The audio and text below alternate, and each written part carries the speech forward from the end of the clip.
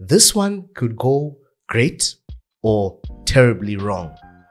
I could literally be making this video to blab at some point in future, but I'm here confident and I'm not predicting who will win the Euros. I still believe, as I predicted before the Euros even kicked off, the Germans. I was gonna say something wrong, but I'll just say the Germans. The Germans would do it. I'm believing so.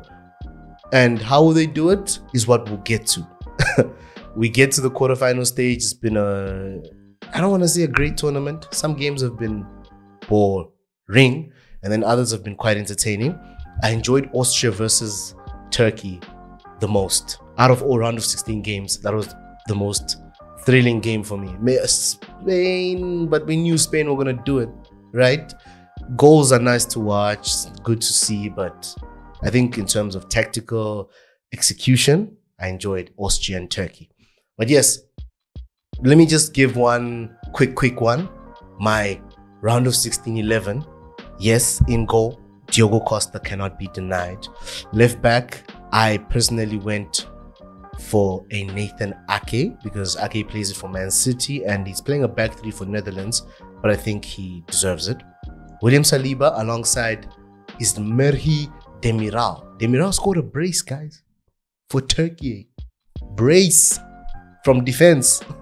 and then right back, um, even though Portugal were a bit lackluster, they didn't take their chances. I loved how Joao Cancelo played the game at all at large and he had a great 91 20 minutes. Midfield, undeniably Rodri for getting Spain back at 1 1 and then just cruising through the rest of the game, honestly. That guy, that guy is crazy, man. And alongside him, Granit. Capitan Granit Xhaka, shining for Switzerland game in, game out. Musiala in the cam role we're not going to give Jude Bellingham for one moment of brilliance when he coasted the rest of the game, but I'm not criticizing Bellingham as a player. I just feel that Musiala is in the game the whole time versus others that show up in moments. I'm just saying, y'all. Left wing, I'm going to go with Vargas. Switzerland's Vargas. That goal was amazing and his overall play.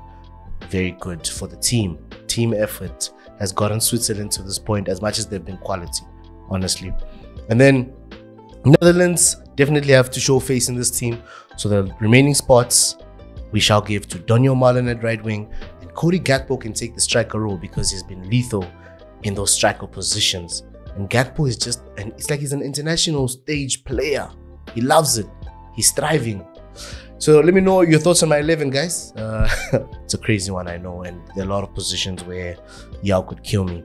I think the most undeniable is Diogo Costa, though. Yeah, Diogo Costa done cooked, y'all. So let's get into it now. The daring part, right?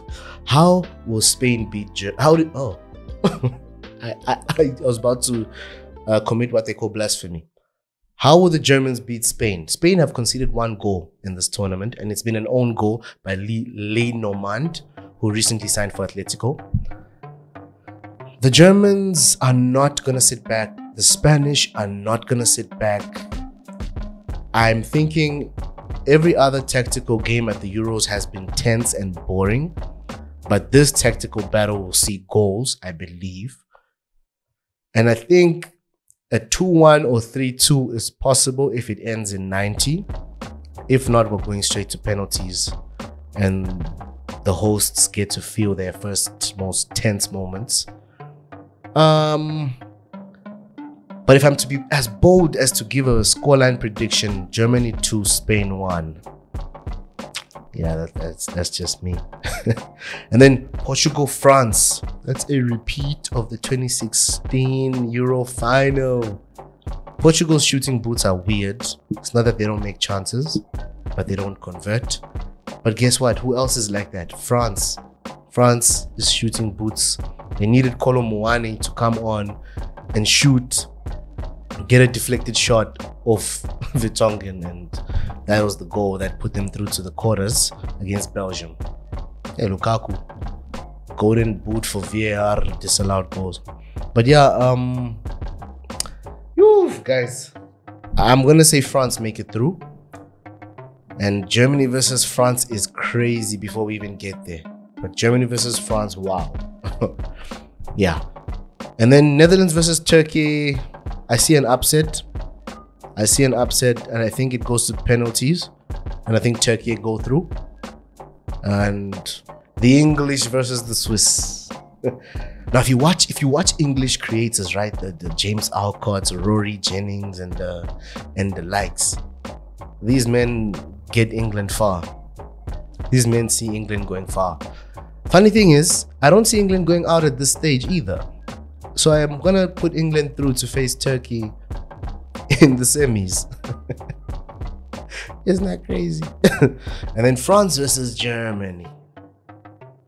Thing is, uh, you guys know what who my predicted winner is. So it's boring. It's boring. But I'm gonna give a scoreline prediction. Penalties, 4-3 to Germany. Is that I don't know where that came from. I just I'm sticking with it regardless though. And then we have Turkey versus the English.